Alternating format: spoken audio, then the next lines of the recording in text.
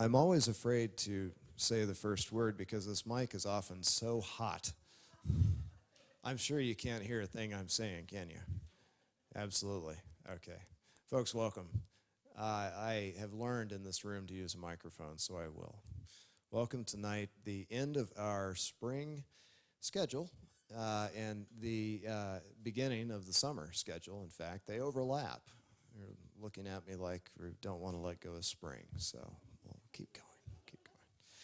So, welcome to the center tonight. I'm glad we have a, a, a nice crowd like this. Uh, part of the work that we do here that uh, I've started um, with the cooperation of uh, the staff and, and also with the Ballantyne family and, and, and some of our other supporters is to begin uh, more or to begin again with more intensive research. And so many of you are probably familiar that we've had a doctoral fellow here, our inaugural doctoral fellow.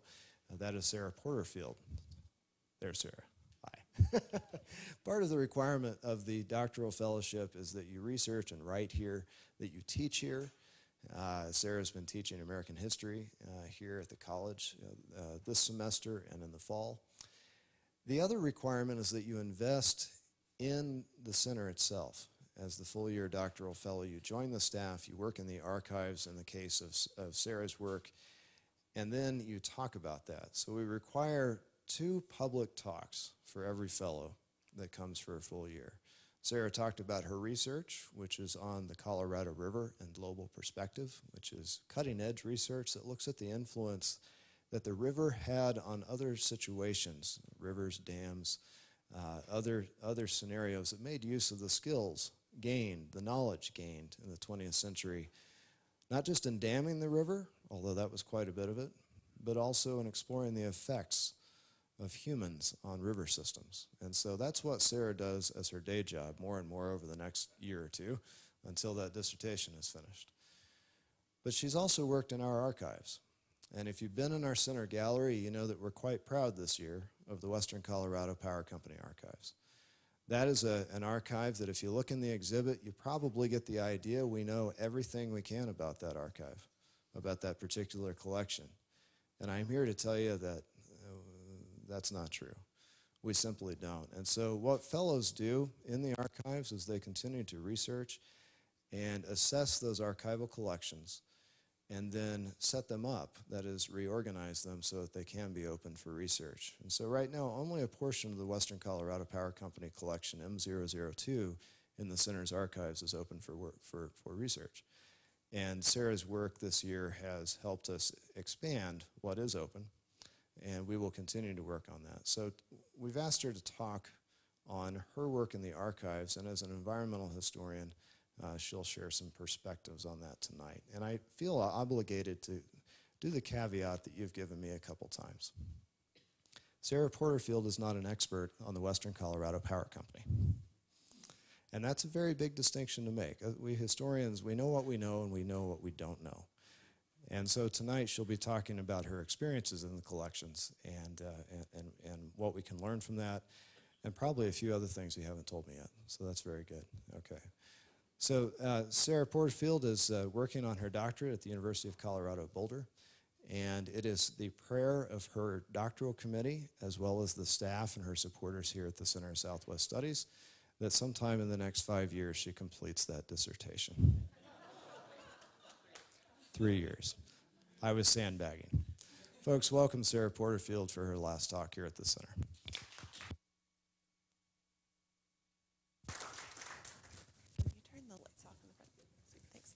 Can you guys all hear me okay? Okay, let me know if I get too loud because I'm uh, learned how to teach on the river uh, where I'm usually competing with 15 year olds who want to maybe run away. Um, a rapid right next to me. Um, so I'm used to talking really loudly. So if I get too loud with the mic, let me know. Uh, first of all, I want to thank Jay and everyone here at the center for not only making this talk happen, but also making this year happen. Um, this was a, a, pretty exciting opportunity to be, to be, able to come out to Durango from Boulder um, and spend a year out here. Uh, my last day of work is Friday, and I'm headed, I'll be in and out of Durango, but mostly headed back to Boulder um, come Friday. And I'll be there for probably the next two to three years working on my dissertation um, and hopefully finishing that up. Like Jay said, I am the doctoral fellow at the center for this year, and that comes uh, as Jay said, with a few different components. I had to get uh, a river picture up here into the talk. Um, so as Jay said, I taught one class each semester, U.S. history from 1877 to the present day. Uh, so Reconstruction, end of Reconstruction through to the present day. Uh, two classes of ranging in size from, I think they were in the mid-20s to the mid-30s. Um, and learned, I think, more than they did, as you always do, as a teacher through that experience. I submitted my dissertation prospectus to my committee for approval in Boulder this um, January and got that approved. And as Jay said, I work on the Colorado River in a global perspective. So river runners are where I'm starting out with my uh, research this semester or this year and into next year. Um, hydrologists, water managers who work on the Colorado and then go overseas, or work overseas and then come back and work on the Colorado, and how that global exchange of knowledge happens about the river through recreation, through development, through the science of water, and how those different fields inform each other and work towards or against um, environmental advocacy. And finally, as Jay also said, I worked in the center's archival collections, and particularly in the Western Colorado Power Company uh, engineering uh, section of the, the WCPC collection. You'll hear me use that acronym throughout the talk, the WCPC, the Western Colorado Power Company. And I was focused on this engineering section of the collection that was somewhat organized, somewhat not. Um, and so I worked on making a finding aid for it. So eventually you'll be able to go to the center's website and click on the finding aids and see what is in those boxes down in the basement um, that I went through each and every single piece of paper down there. Um, and so today I'm going to talk about the Western Colorado Power Company, um, but in somewhat of a tangential way.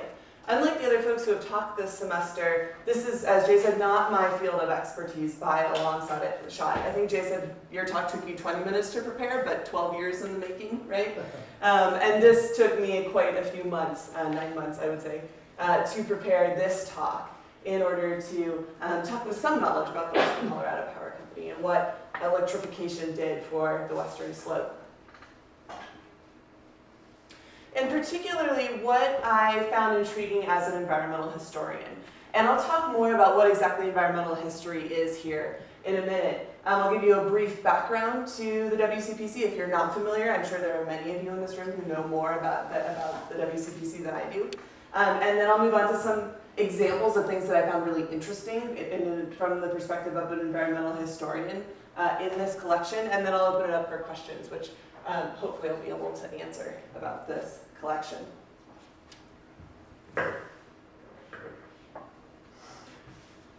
So this is a region, uh, obviously it's, it's our home, right? Or at least mine temporarily. Um, and it's a region that I think many of you know very well. And the Western Slope is a significant place in the history of electrical power generation. Um, from the first use of the alter of alternating current, which I'll talk about here in a minute, um, its mining history, the WCPC itself, etc.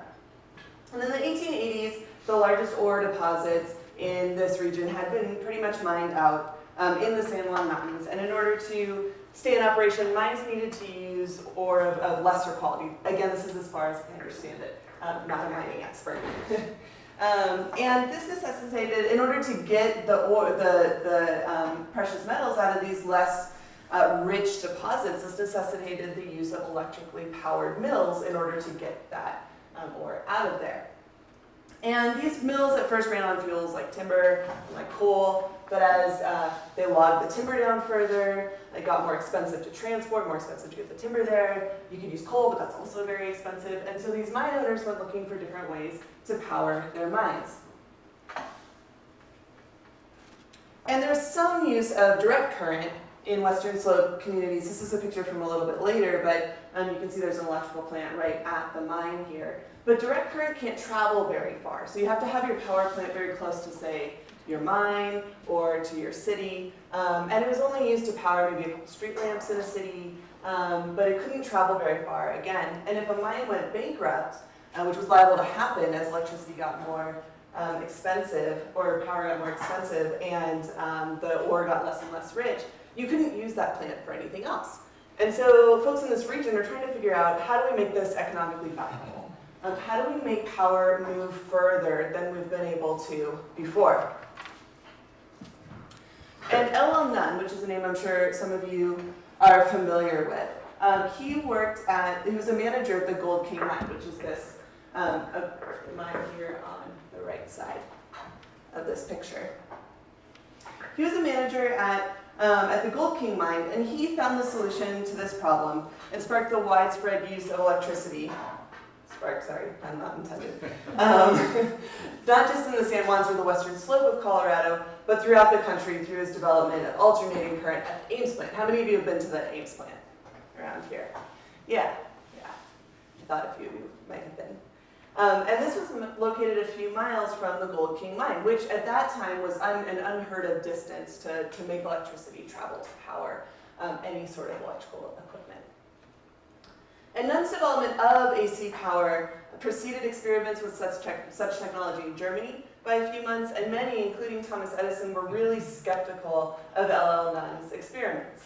But Nunn managed to prove them all wrong, and in early 1891, he sent hydropower generated by the San Miguel River 2.6 miles from Ames to the Gold King mine. And again, this is an unprecedented distance for electricity to travel at this time, right? You no longer had to have your plant fueled by timber or coal right at your mine. You could have it fueled as the Ames plant was by hydropower, by water, and have it located further away, which opens up all these possibilities to fuel not only mines, or to, not only to electrify mines, but also cities in this area, like Telluride, as you saw the postcard there before, like Durango, etc.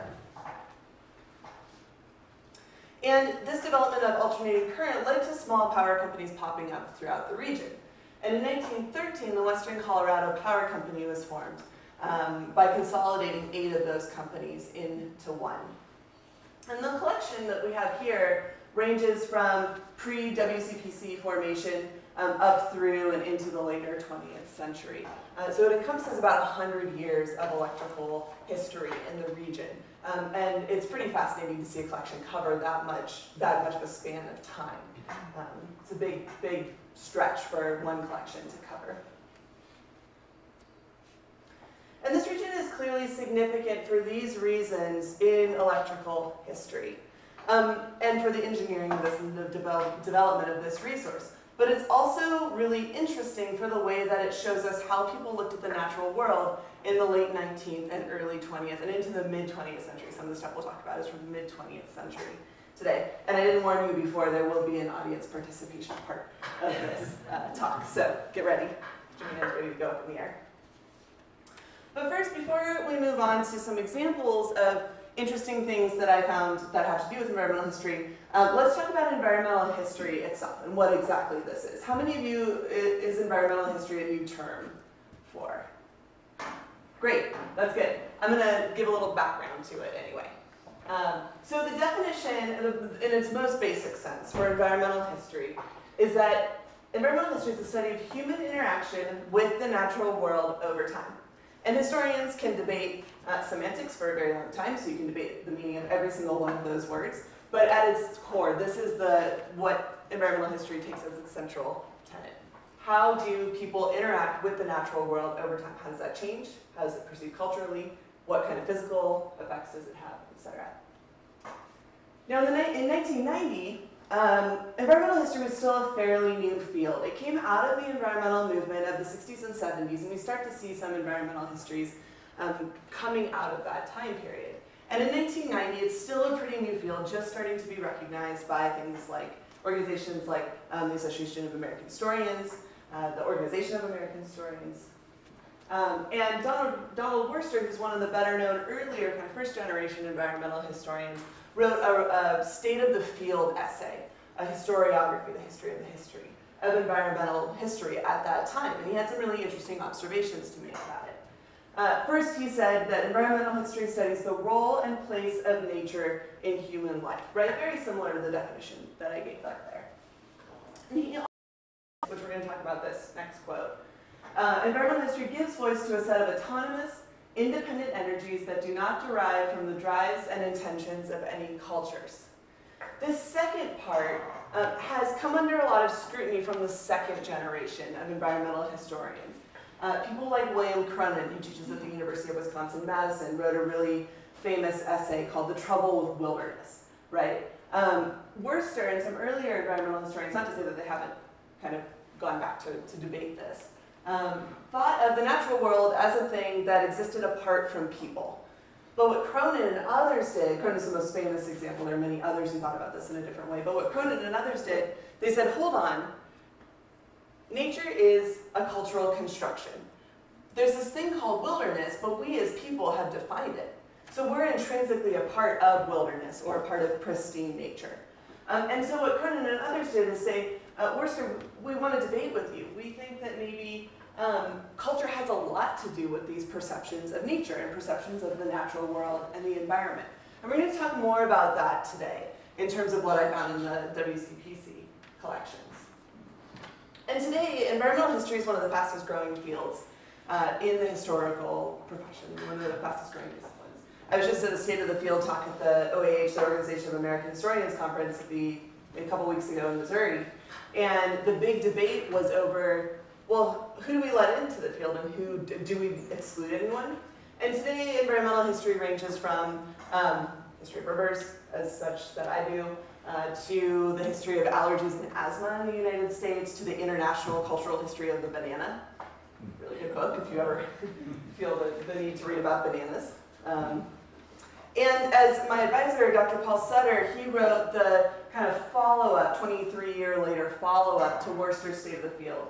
Uh, he wrote this in, in um, 2013. And Sutter said, uh, by almost any measure, environmental history is one of the most vital subfields within American history, and one of the fastest growing approaches to the study of the past within the larger profession. So um, I'm pretty excited about that, right? Chosen wisely. Um, but for the purposes of this talk, I'll focus more, uh, less on, on this kind of all-encompassing environmental history, and more on the study of human interactions with the natural world. Central question in the field, what is the relationship between the human and natural worlds, and how has it shaped history? How has this played out physically, culturally, etc.? And we can see this very clearly in the WCPC collection, these perceptions of the natural world cultural perceptions of the natural world, as well as physical, right? What does it mean to be out there building um, line, electrical lines in a snowstorm, right? Very physical uh, component to it as well. Now in the history, I'm sure a couple of you have read this book, uh, A Romance of Electricity on the Western Slope. It's a little pamphlet that was published by the WCPC, um, I think on their 50th anniversary of existence. And on the very first page, it says, this booklet attempts to bring to mind the epic struggle of the men of the Western Colorado Power Company and their predecessors in helping develop an industry and commodity to the point where it is now taken for granted. And as an environmental historian, there are two parts of this quote that are really interesting to me and that tell us a lot about these perceptions of the natural world. The first is epic struggle, right? That this is a battle to control nature, right? That this is really, really hard, which without doubt it was. Um, or, or, or a, a, struggle to make this resource happen for us to flip a switch, right? And the other thing that I think is really, other, other word that I think is really interesting is take, or phrase is taken for granted, right? We don't really think about turning the light switch on today. Uh, maybe if our family has had history with the WCPC, we think about that when we do. But a lot of us walk in the room and flip a light switch on and don't really think about it, right? We take for granted these kinds of natural resources um, in our everyday lives. And it's a big deal when our power goes out, right? You gotta go find your headlamp or candles or whatever it may be.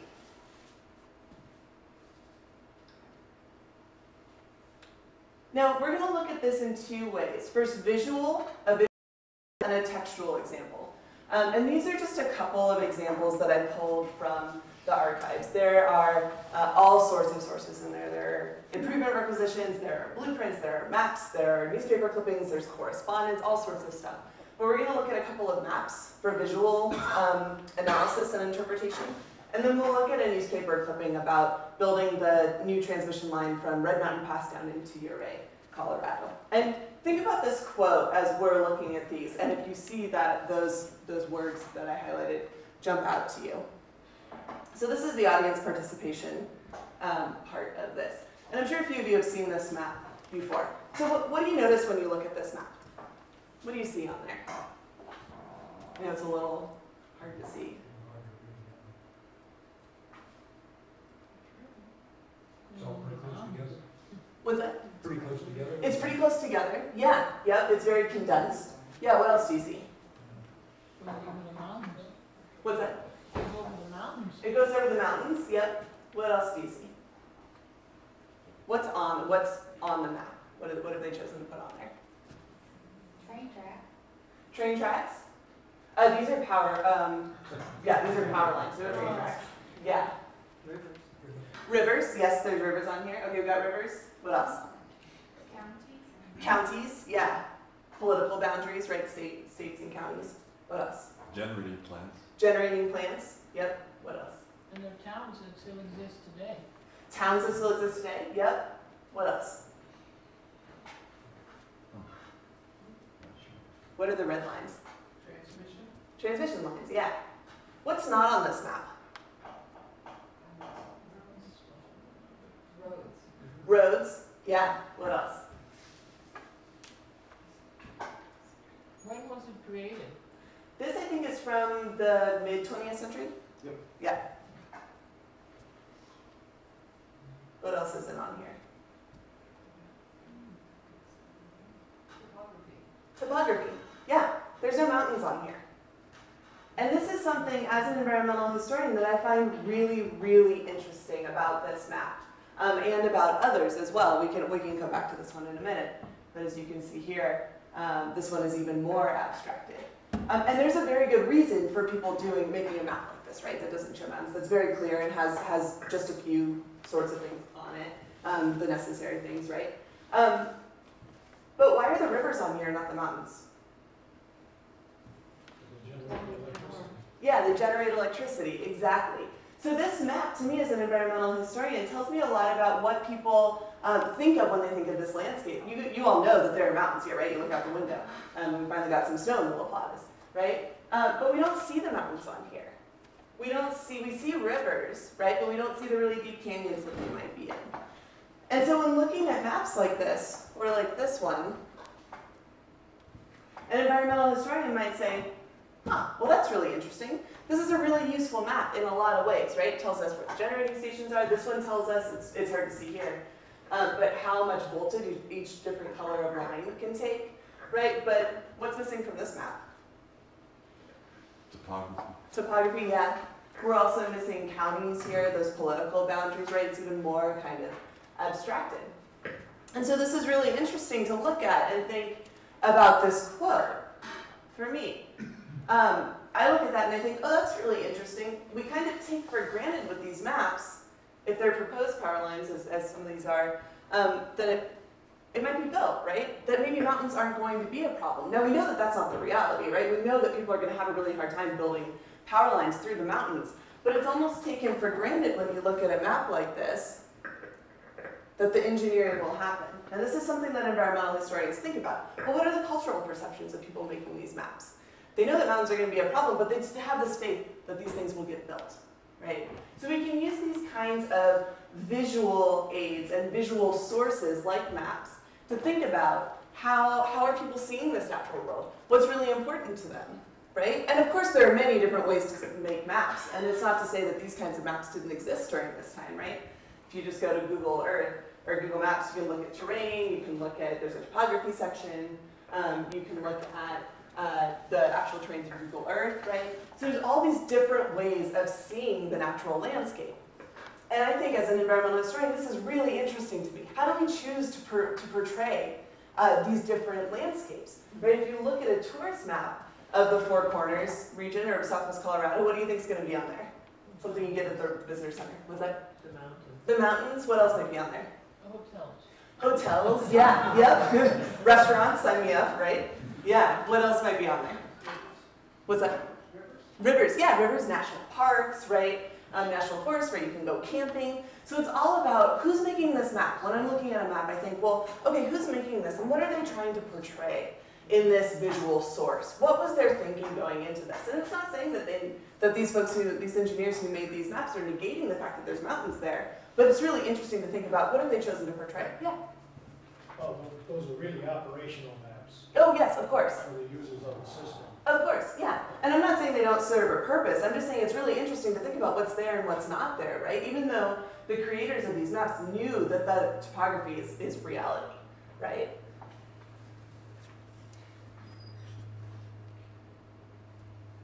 So now for a textual source. Um, this is an article from Electrical Light and Power magazine from April of 1945 um, that talks about the construction of the power line from Red Mountain Pass down to Ouray, um, which is a, an epic undertaking, right? Um, this is a pretty incredible uh, undertaking to, to build this line, right? In an area that you know, if you drive through there, there's all these avalanche areas, warnings, you know, and all these kinds of um, hazards that come with really steep terrain.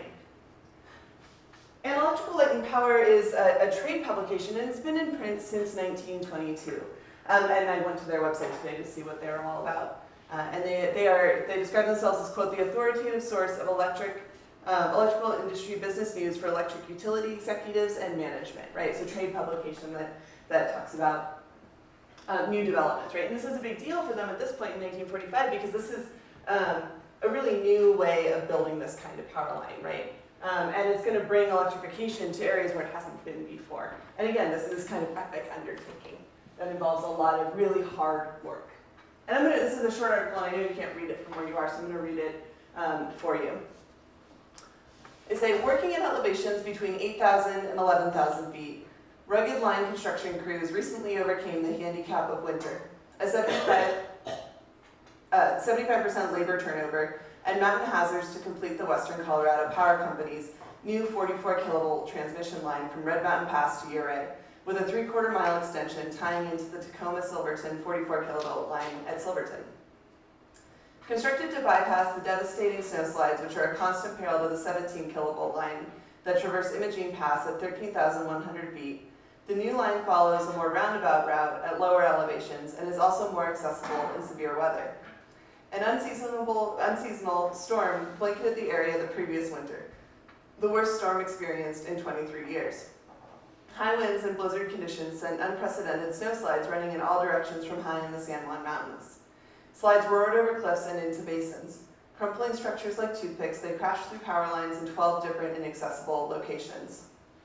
At one place, two sturdy structures and 2,400 feet of line were swallowed up, and in another, a tower and 900 feet of line were razed. Other slides dammed a river and silenced a hydroelectric generating station.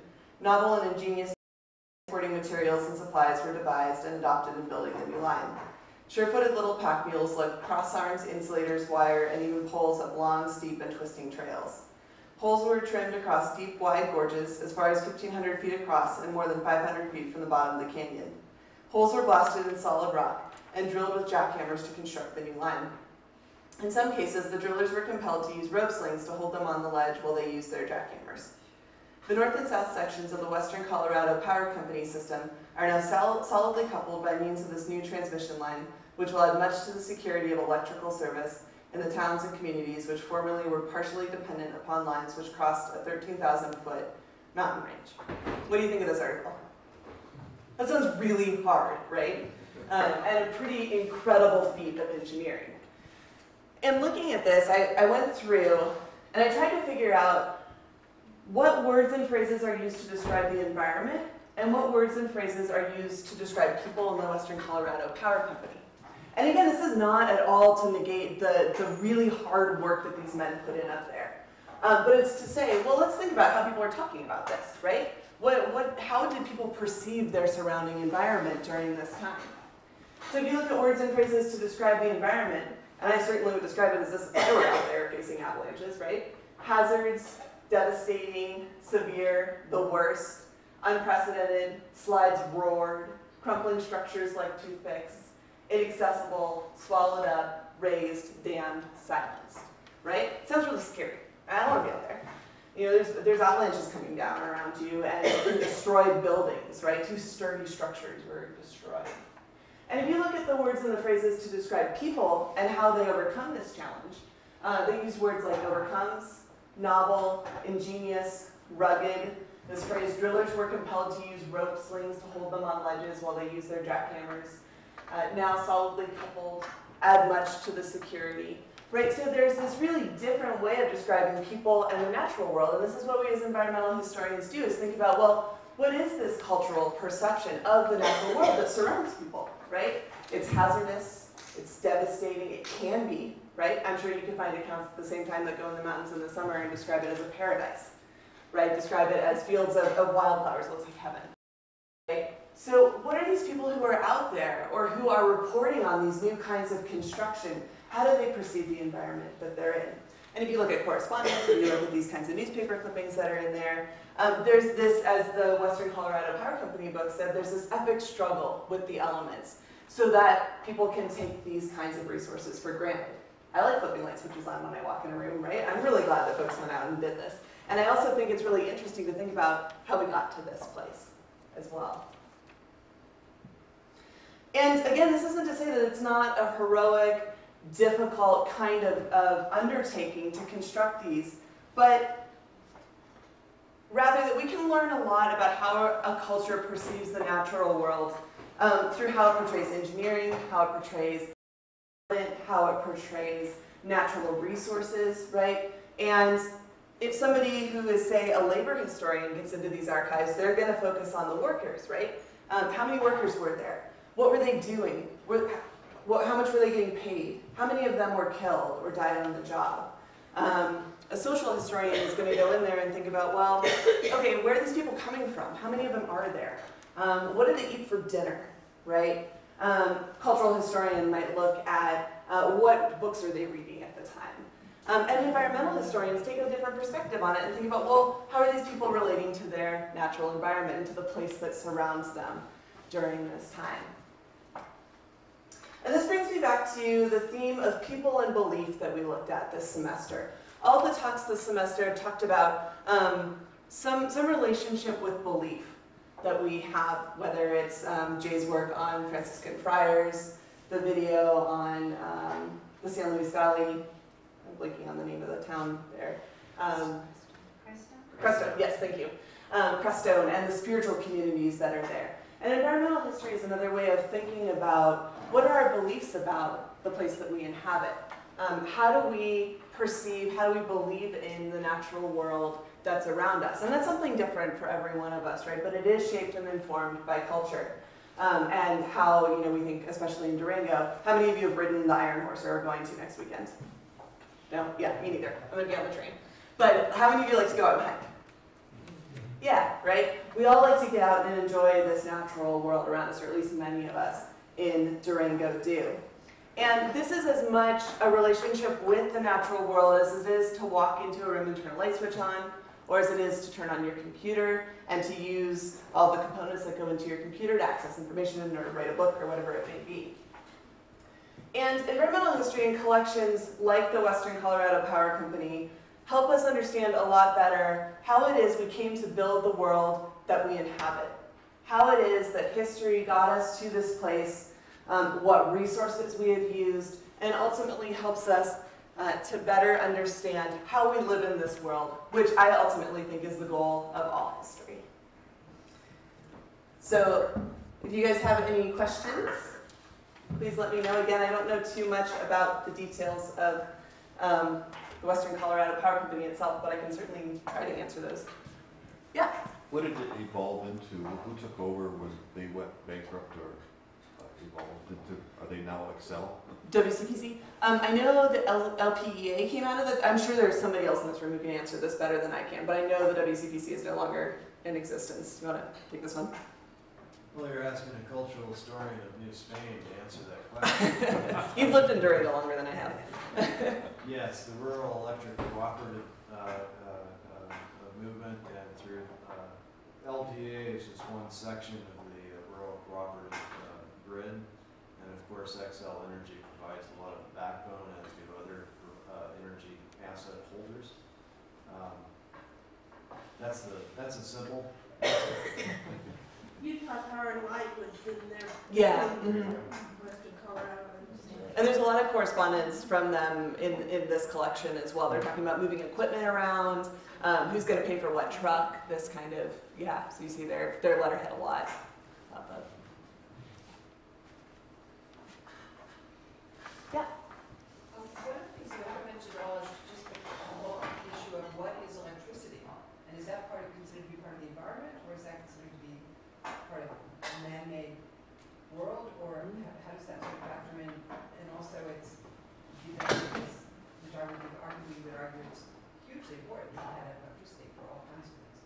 Oh, sure. Yeah. So the question, the question is, is electricity um, a human creation or is it natural, right? Um, how do you talk about electricity? Um, I don't work, photons are a part of electricity, right? This shows my ignorance of what, of the science side of this. Um, and I think that, that a lot of environmental historians go very, very deeply into the science of the subject that they're working on. And that's something that I'll be doing with hydrologists and the science of water and what water does and is and moves and all of these kinds of things. Um, so I think that there's a real value to explaining, um, as one of my professors says, like you would to an intelligent alien, right? Um, what the science of these subjects is, right? Hydrology, electricity, whatever it may be. Um, I can't do that for electricity, but I think it's really valuable is that if someone were going to go into this collection and write an environmental history of the WCPC, um, that yes, you talk about what exactly is electricity, how does it work, why does it exist, how does it work differently, both in a natural form, right, lightning, versus a human-created form, turning on light switch, hydropower, etc. Um, and I think that that kind of question illustrates the complexity of this division of natural and, and human, right?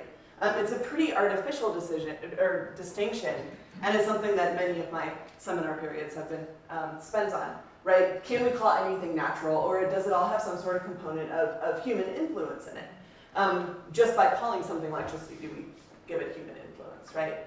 Um, and so I think that that's a really interesting question, and it's a really hard one, and it's actually very central to environmental history, right? What do we call natural? What do we call human?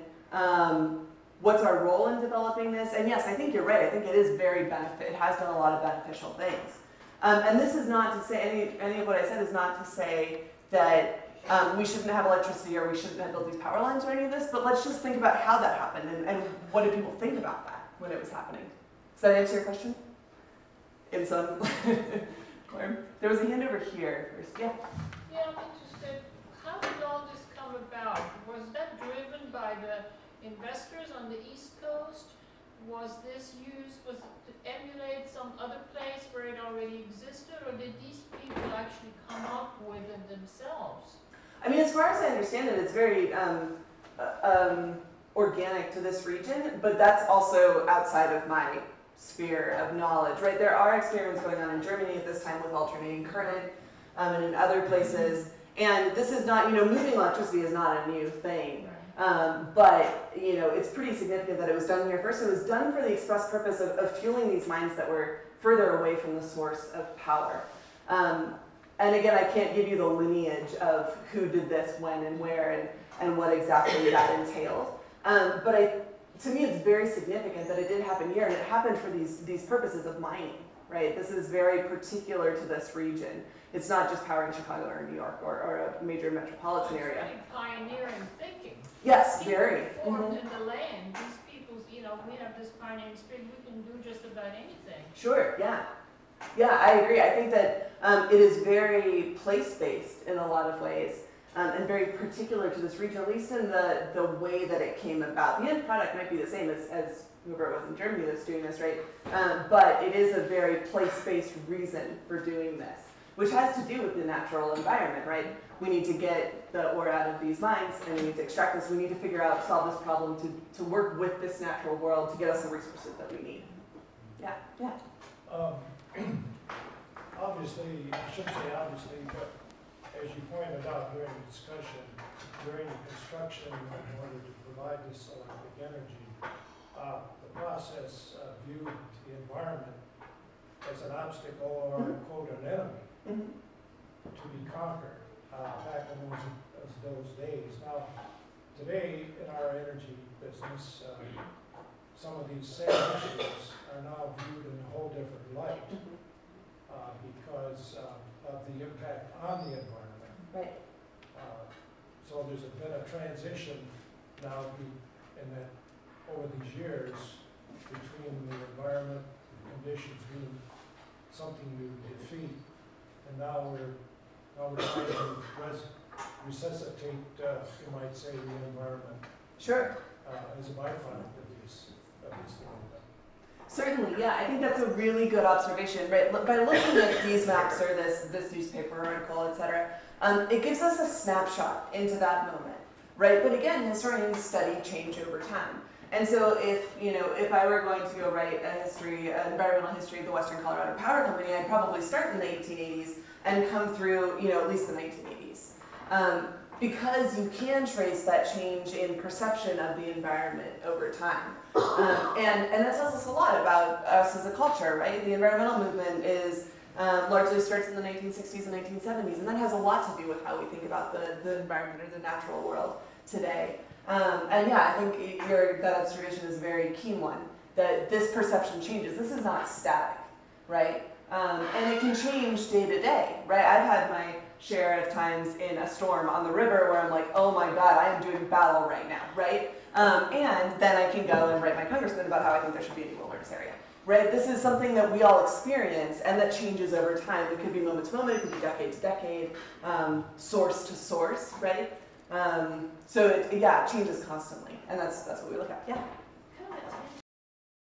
When you were digging through, doing your research, did you, and you said you found documents, did they have any guidelines for don't leave your cans or human waste? I mean, did you find anything that would, I mean, obviously they didn't look at it the way we do, it's changed, but did you find anything Um, yes and no. You know, what I found was mostly here's the guidelines for building a ranger cabin because we can't have them commuting or living in a tent. You know, we need to get more uh, a more comfortable accommodation, right? And in those drawings is you know here's the cabin and here's the outhouse. Let's make it a two wheeler, right? Um, and so there wasn't so much attention to we're making this place ugly in the sense that we see with, say, Rachel Carson in Silent Spring in, in the early 1960s, or the, um, you know, the, the issues of pollution in the 60s and the 70s. Um, but there is a, well, how do we make this a little bit easier? Um, and how do we interact with this environment in a way that makes it more efficient, is mostly what I saw. But yeah, that's a good question. Well, I, I can speak from personal experience on this because my father worked for the power company over there in Telluride at Ames. And, I I mean, I lived there, I saw him, and day by day, year by year, I think they were, he and his coworkers were mostly interested in get the job done. Mm-hmm. They didn't care, I'm sorry about this for now, but they didn't care about the environment. Their job was to furnish the power, keep it going, keep that water running, keep the electricity going, mm-hmm. and that was their job. And it- it was tough. Yeah. My dad, my parents spent a year at the Tomboy, uh, 11,500 feet by themselves. And It was a ghost town. And they spent a year up there. And he was working for the power company at that time. And um, that was a hard year. Oh, certainly. Yeah. Yeah, again, this isn't to say that it's not really hard and that, that again, you're not, you know, doing battle with the elements, but, you know, why, why do we use that, that language maybe is a better question to ask. Yeah. Yeah. Just in thinking about your comment, uh, do they, you know, figures come up, any engineers or noteworthy people that you're gonna, you know, elaborate on their story? Sure. Um, in terms of my dissertation, Uh-huh. Yeah, um, so the hydrologist, the main hydrologist that I'm looking at is Luna Leopold, who's the son of Aldo Leopold. Um, and he's one of the better known hydrologists in the second half of the 20th century. And he does a lot, I can't remember exactly what the summit is called, but it's like the World Water Summit or something like that. Um, and he did a lot of work on the Colorado. He floated the Colorado many times um, and then brought that, that kind of knowledge out there. Um, the other, the two Bureau of Reclamation commissioners that I'm looking at are the big ones, Elwood Mead and Floyd Dominy.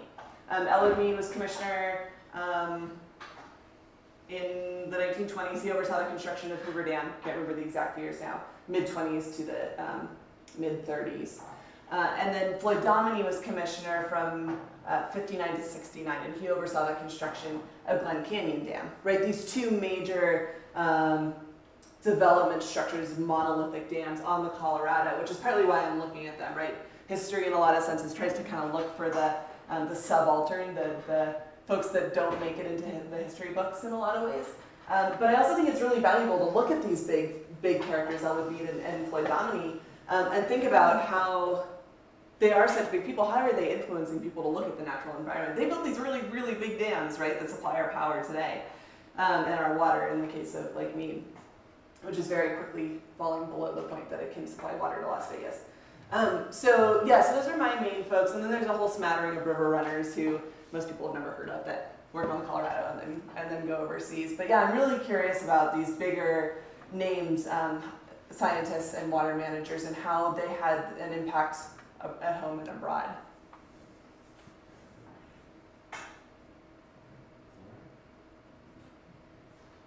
Thank you, Sara. Mm-hmm. A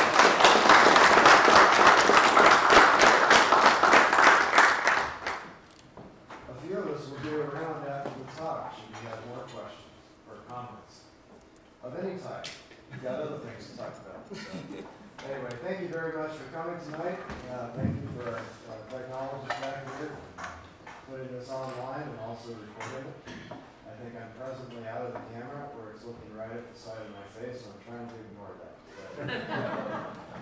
it's been a pleasure to have you this spring. We have a full lineup this summer. It will be published shortly. It is Imagining the West, and that's on Wednesdays at 1.30 during the summer. So look for that coming to a paper near you and online here. So anyway, good evening to you. Stick around if you have questions. Thank you.